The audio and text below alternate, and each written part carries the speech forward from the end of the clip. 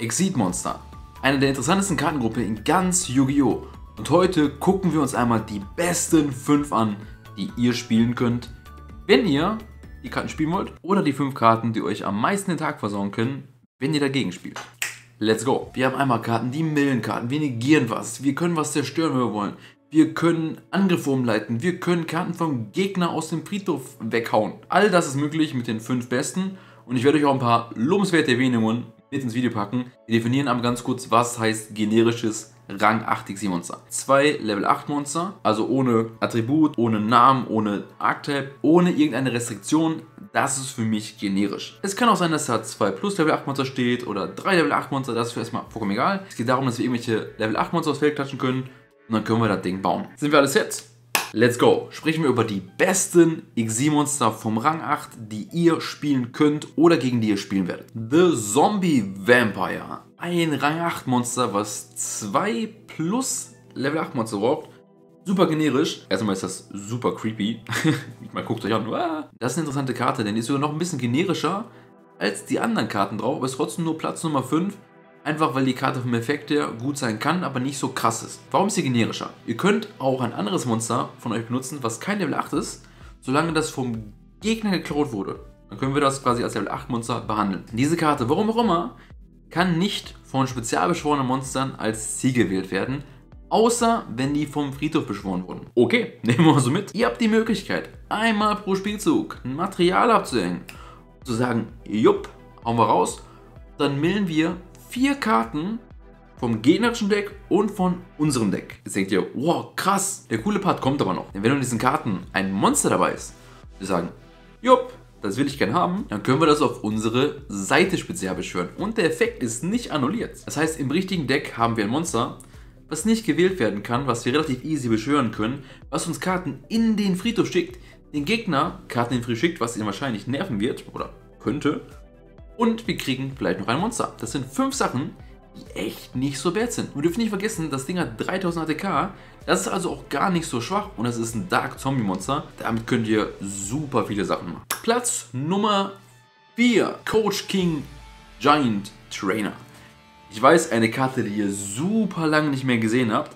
Aber wenn wir uns erstmal angucken, was die Karte tut, verstehen wir erstmal, wie absurd die Karte ist. Erstmal das Bild ist halt todesfunny. Ich meine, guck mich an. Der hat einen Baseballschläger, der hat so einen komischen Schlagstock, noch ein paar andere Schlagstöcke hinten dran. Also der ist halt voll ausgerüstet. Der erinnert mich ein bisschen an den Typen aus Teenage Mutant Ninja Turtles. Komischen Typen mit der Hockeymaske, der auch mal so Schlagstock dabei hatte. Fragt mich nicht warum, aber daran erinnert mich ein bisschen. Der ist relativ schwierig zu rufen. Der braucht nämlich drei Level 8 Monster. Und wenn wir den Effekt von dieser Karte benutzen, können wir diese Runde keine Battle Phase durchführen. Ja, aber Warum ist der dann auf Platz 4? Der ist doch eigentlich voll kacke. Nein. Wir können ein Material abhängen. Und dann können wir eine Karte ziehen. Und wenn das ein Monster ist, zeigen wir die vor. Der Gegner bekommt 800 Punkte Schaden. Wisst ihr, was das Geile bei diesem Effekt ist? Wir dürfen die Karte behalten. Das mal vorab. Das ist kein Once-per-Turn-Effekt. Das Ding hat drei Materialien. Das heißt, wenn wir drei Level 8 Monster aufs Feld bekommen, können wir im ersten Spielzug mit diesem Ding drei neue Karten ziehen. Und das ist unglaublich gut, dass ihr drei Level 8 Monster dafür braucht. Ist natürlich schon ein bisschen krass, aber mit den neuen Horus-Karten sind drei Level 8 Monster nicht so schwierig. Deshalb ist die Karte auch echt gut. Und die ist im Preis auch ganz schön nach oben gestiegen, denn ich habe, glaube ich, gesehen, sogar die Kammel kostet mittlerweile 5 Euro. Fragt mich nicht warum. Ist definitiv eines der besten XY-Monster. Die ist logischerweise nur gut, wenn ihr First geht. Wenn ihr Second geht, ist sie komplett nutzlos. Es sei denn, ihr spielt irgendeine Variante von Varianten, die, by the way, aber kein Level 8 Fusion Monster haben. Das ist ganz wichtig zu wissen. Wenn euch das Video bis hierhin gefällt, lasst mir unglaublich gerne mal ein Like dafür das Video.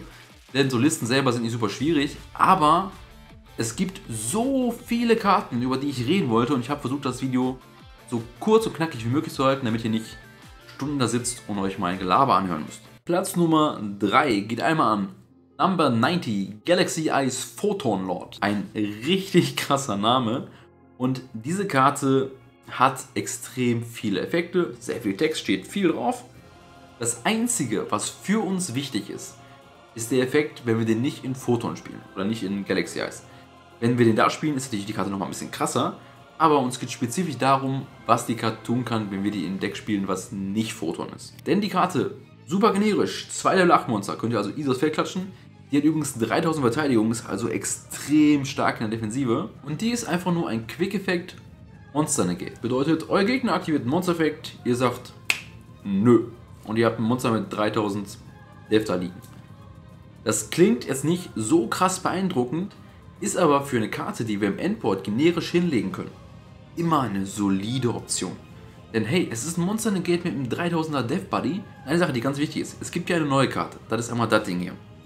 Es hat ja die Fähigkeit, dass keine Effekte aktiviert werden können von Monstern mit 3000 ATK oder mehr. Das Ding hat nur 2500, hat aber 3000 Death, das heißt es überlebt den Angriff und kann den Monster-Effekt annullieren. Und das ist wirklich gut. Gehen wir weiter zum nächsten Kartentext. Dieser Name, oh, ich liebe ihn. Nummer 2 geht einmal an die Karte. Number 38, Hope Harbinger Dragon Titanic Galaxy. Diese Karte ist ein generisches Monster, logischerweise wie alle anderen auch. Ihr braucht dafür zwei Level 8 Monster, also super easy zu machen. Diese Karte hat einen Once per Turn Effekt. Einmal pro Spielzug könnt ihr eine Zaubern-Fallen-Karte vom Gegner annullieren oder auch Effekte. Richtig geil. Falls du es tust, kannst du die als Material anhängen. Was auch in sich ziemlich nice ist, mein Hinterbonus mit drauf, extra Material sammeln. Ist vielleicht für Karten wie Zeus gar nicht so verkehrt, so extra Materialien zu sammeln. Ist das eine sehr coole Karte. Was aber wichtig bei dieser Karte ist, dieser Effekt ist zwar ein Per Turn Effekt, allerdings, wenn ihr zwei Hopes auf dem Feld habt, könnt ihr mit jeder Kopie eine Spelltrap annullieren. Das ist also eine Karte, die könnt ihr auch zweimal aufs Endboard legen. Das ist eine gute Karte. Aber jetzt kommen diese kleinen Secret-Effekte, diese Sachen, die sich ein bisschen im Hintergrund verstecken, die eigentlich nicht oft aufkommen, aber wenn sie aufkommen, sie euch richtig nerven. Denn die Karte kann Angriffe umleiten. Ihr fragt euch jetzt, okay, haben die gehört? Wie das funktioniert ist relativ einfach. Wenn ihr angreifen möchtet, kann der Controller von Ob sagen, ah, ich hänge mal ein Material ab und ich leite den Angriff einfach in ein Monster um, was ich möchte. Das Witzige dabei ist, dieser Effekt ist nicht einmal pro Spielzug. Und wenn ihr die beschwört, habt ihr zwei Materialien und wenn ihr eine Zauber- und Fallenkarte annulliert, habt ihr drei Materialien. Das heißt, wir können drei Angriffe umleiten in diese solche Karte. Oder in eine andere Karte, wo ihr hin wollt. Wenn ihr jetzt denkt, das war der Geheimeffekt, den alle mal vergessen, stimmt das. Die hat aber noch einen zweiten Geheimeffekt. Das wissen auch super viele nicht.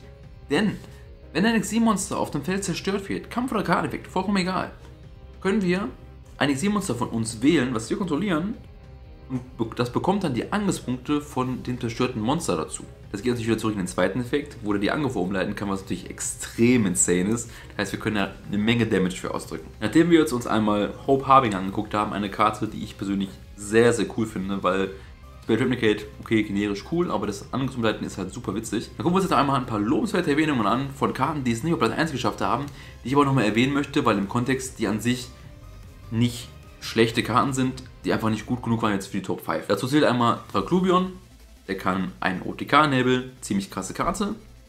Eine neue Karte, die wir bald sehen, Garonix Eternity.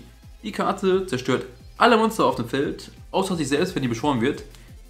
Klingt krass, ist aber für, wenn ihr Second geht, wenn ihr nur das macht, ja, ist okay, aber dann kann man auch Zeus machen, der macht halt ein bisschen was mehr, ne? Ist auf jeden Fall keine schlechte Karte. Wenn man einmal klar ist, der kann theoretisch jede Zauberkarte im Game suchen mit so ein paar Shenanigans. Ist interessant, nicht so krass, aber ist theoretisch halt auch generisch. Haben wir Teardrop, die Rächerkönigin. Die Karte kann Karte wählen und die rotieren, ziemlich cool. Belgrand kann eine Karte wählen und den Effekt annullieren, auch ziemlich cool.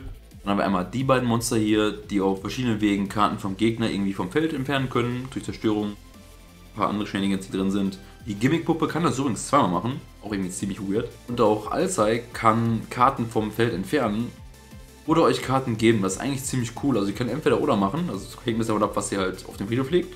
Aber die meldet auch eine Karte, das kann auch manchmal ziemlich hilfreich sein. Dann eine Karte, die vielleicht für Endport nicht super relevant ist, aber sein kann, ist halt Sagas. Der kann euch regellos suchen, das ist ein Negate.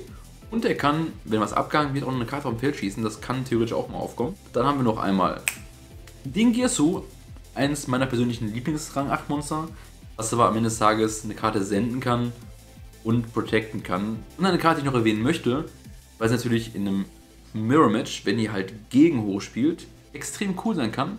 Das ist einmal Sky Prison, Nummer 68.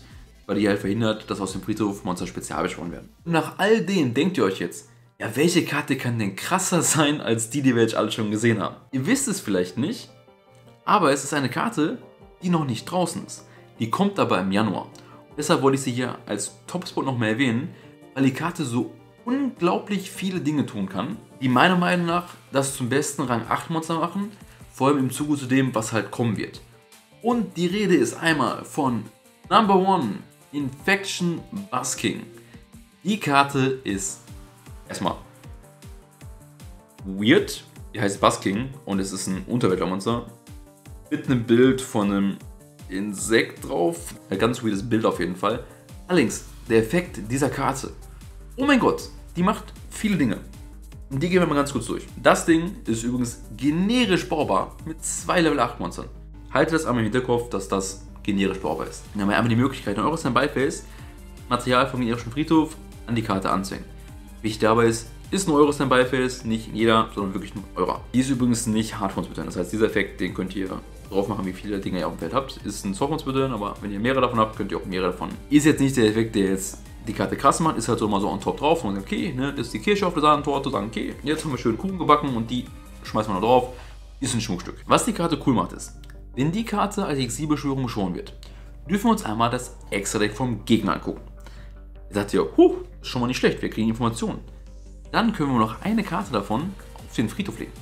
Das heißt, wir wissen, was der Gegner spielt, können gegebenenfalls eine Key-Karte auf den Friedhof legen, um unser Endboard gegebenenfalls gegen das Deck zu rüsten, gegen das wir spielen, und vielleicht das Out, was unser Endboard outen könnte, rauszunehmen.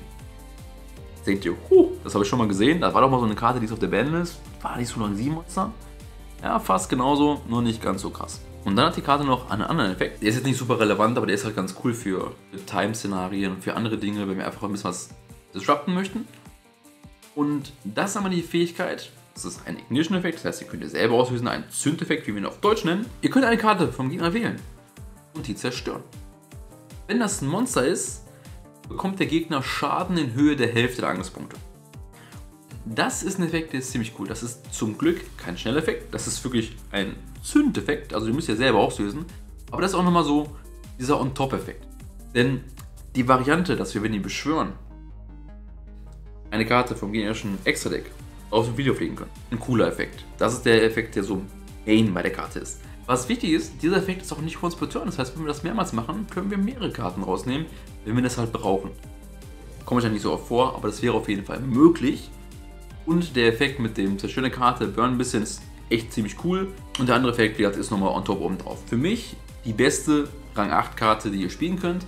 Ich finde, die gehört in jedes euer Extra rein, wenn ihr quasi die Karte spielt, weil ihr einfach direkt in Game 1 wisst, gegen was ihr spielt. Und das ist, wenn ihr einen Endport bauen könnt, verschiedene 8 Monster, verschiedenen Engines in eurem Deck, extrem hilfreich, weil ihr dann wisst, was der Gegner fordert. Und das sind sie alle 5 Rang 8 Monster, die meiner Meinung nach jeder considern sollte zu spielen, wenn ihr ein Deck habt, was 8 bauen kann und vor denen ihr Angst haben solltet, wenn ihr gegen diese Deck spielt. Jetzt haben wir viel über Karten gesprochen, die extrem gut sind. Wenn ihr ein bisschen was über Power Creep wissen möchtet, guckt euch mal dieses Video an. Da habe ich auf ein Video reagiert von Julian, der über Power Creep gesprochen hat. Mit den neuen wir jetzt bekommen. Und da werden auch die Horus-Karten angesprochen, die ich in diesem Video erwähnt habe.